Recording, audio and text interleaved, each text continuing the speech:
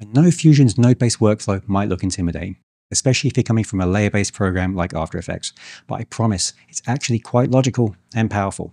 In the next few minutes, I'm going to break down the basics of Fusion nodes. I'll show you the different types, how they work, and we'll even build a motion graphic from scratch so you can see them in action. By the end, you'll see that nodes really aren't that scary, and you'll be ready to start creating some awesome effects in no time. Now, let's start with the fundamentals. Each node performs a specific task. There are hundreds of different types, and of course, we won't cover them all. But almost every one of them loosely falls into one of these four broad categories. Nodes that create something, nodes you apply to something, nodes that combine things, nodes that cut things out. For nodes that create something, these are nodes that add some kind of image into your node tree. This could be a media in node that brings in a video or a graphic from your media pool, a background node to create a block of color, or a text plus node to, as you might have guessed, create some text. For nodes you apply to something, these nodes modify the image you feed into them. This could be a blur node, a color corrector node, or a transform node that changes the size or position. For nodes that combine things, these are your merge nodes. They let you layer different images on top of each other, like combining text over a background. And then nodes that cut things out. These define areas of transparency. You can apply them to an image or even to an effect if you want to limit what part of your image the effect is applied to. Think shapes like polygon or ellipse. Some nodes will fall into more than one category, but this is how they work at a basic level. Now, before we start connecting nodes together, let's take a quick tour of the interface so you know where to find them. First, I want you to go to Workspace, Reset UI Layout, so we're all looking at the same thing. In the Edit page, we'll create a new timeline by hitting Command and N and call it Fusion Demo. Then we'll open the Effects panel and under Toolbox, Effects, drag a Fusion composition into your timeline. And with our playhead parked over it, we'll open Fusion. You'll see the node editor here on the bottom half where you'll build your node tree the inspector, where you'll control how each node works, and up top you'll find two viewers. Those work a little differently than you might expect, but can be super handy as you build your composition, but more on that later. For now, we're just going to use one viewer by pressing this icon right here. You can access your nodes in three different ways. A lot of the common ones you'll find in this toolbar beneath the viewer. Eventually, you'll start to recognize which is which by their symbols, but if you hover your mouse over them, you'll get a tooltip showing their names. The second place is the Effects panel under Tools. They're separated by category, and you can also search for a specific one in the search bar right here. The third way is to bring up the Select Tool panel, which you access by hitting Shift and the space bar on your keyboard, and you can search for the node you want there. Even an empty Fusion composition should have one node to start with, which is your media out. Whatever you connect to this will be what you see on the edit page. Around the edge of the node, you'll see different colors and shapes that represent different inputs and outputs. A square represents an output, a triangle represents an input, and the different colors will tell you what type. Let's look at one of the most common nodes you'll use, and that's a merge. We'll drag that into the node editor from the toolbar, and we'll connect it to the media out by clicking and dragging the output to the input, like this. We use this node to combine two things together. Here you see three triangles. Yellow is the background, green is the foreground.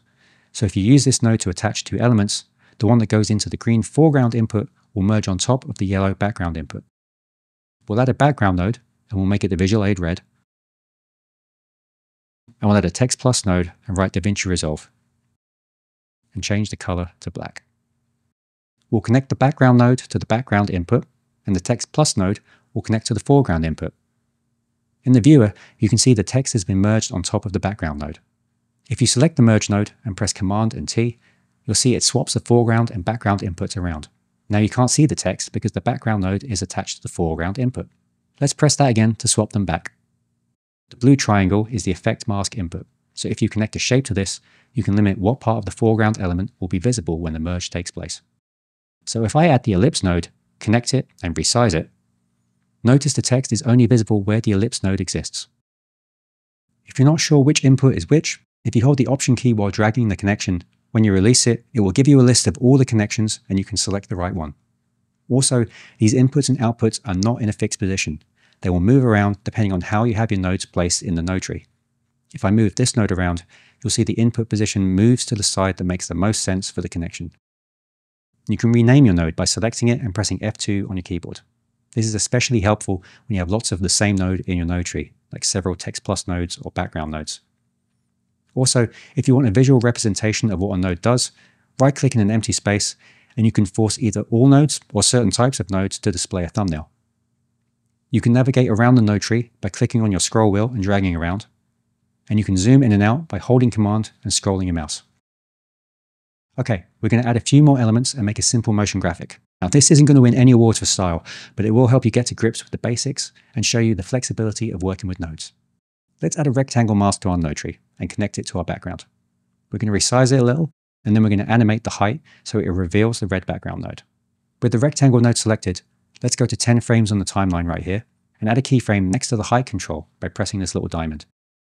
Then we'll go to frame 0, and in the inspector, we'll change the height to 0, which will add another keyframe automatically. If I play from the start, you'll see an ugly linear animation, but we'll fix that later. Next, I'm going to add another element. If you open up the Effects tab, rather than a node, I'm actually going to grab something from the Generators section, which you'll find under Templates, Edit, Generators. If I scroll down, you'll see one called Paper. Let's drag that into the node editor. At first glance, this looks like a node, but if you look closely, it's actually several nodes stacked on top of each other. These generators are made up of node groups. If I select it and press Command and E, it'll expand the group, so you can see all the different elements that made it. We'll keep it simple for now and hit Command E again to close the group back up. We're going to merge this on top of our red background. One easy way to add a merge node is to drag the output of the thing you want to be the foreground over the output of the thing you want to be the background. This creates a merge with the two elements automatically connected.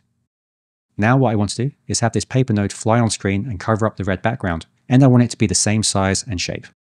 One of the most powerful things about nodes is you can use the output of a single node as many times as you like. If I take the output of the rectangle, I can use it to mask the merge node as well as the red background. To animate the paper node to fly on, I could use the position controls within the merge, but I'm going to use a transform node for this one. Make sure you have the paper node selected and hit Shift and Spacebar.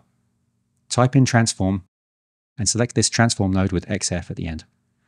When you press add, it will automatically add the node to the node tree and connect it in between the paper node you had selected and the merge node. If you ever do this with the wrong node selected, you can remove it from the flow by holding shift and dragging it out. You can put it back by holding shift, hovering over the connection you want it to be placed between.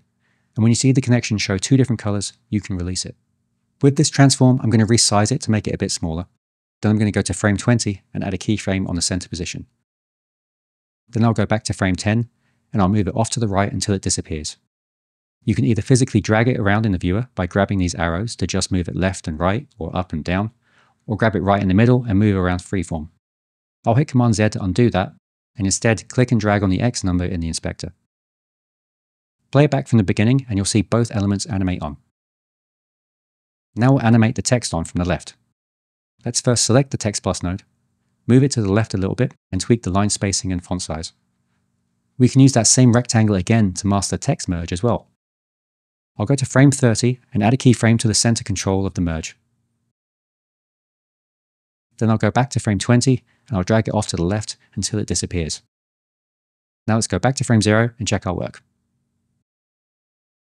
We're getting there, but I want to add one more element. I'm going to open my media pool and from my hard drive, I'll drag in this DaVinci Resolve logo. You can find one with a quick Google search if you want to follow along. I'll add this to my node tree, and I'll rename the node so we remember what it is by hitting F2 and typing logo. Now we'll resize it using the merge node controls and position it to the right of our graphic. I want this to fade on while changing from blurry to sharp. Let's add a fade first by using the blend controls of the merge node. Go to frame 40 and add a keyframe to the blend control then at frame 30, turn it down to zero. We'll play it back to check our work. Okay, now to add some blur. We'll grab a blur node from the toolbar and drag it into the node editor. If you look at the top of the viewer, you'll see it says Media Out 1. So all this time, that's a node we've been looking at.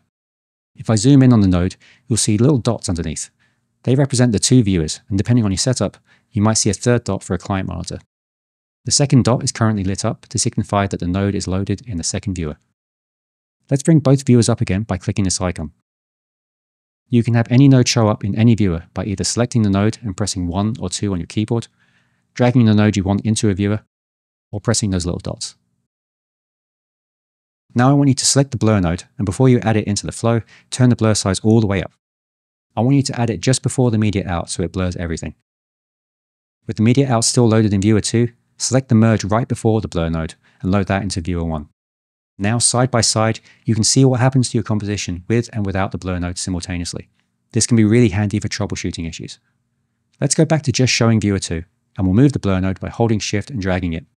And then we'll add it between the logo and the merge, so only the logo is running through it. At frame 30, add a keyframe to the blur size, and at frame 40, turn it all the way to zero. One last thing, let's make the animations a little nicer. In the top right, we'll open up the spline panel. Drag things around a little if you need to resize your workspace. Now, the panel deserves a whole video of its own, but for now, I want you to select the checkbox for all the nodes we've animated movement on. So that's the transform, the rectangle, and the merge node for our text. Click on an empty part of the spline panel so that it's active, and hit Command A to select all keyframes. Hit S to smooth them out, then hit Command and T to open up the easing controls. And with all the keyframes still selected, crank the ease in number all the way to 100. Now when you play back, you'll see some nice smooth animations. See, nodes aren't so scary after all. They give you a very structured way to build complex effects. And now that you understand the basics, start experimenting and you'll be amazed at what you can create. Of course, Fusion isn't the only part of DaVinci Resolve that uses nodes. Click right here and you'll learn all about how they work on the color page.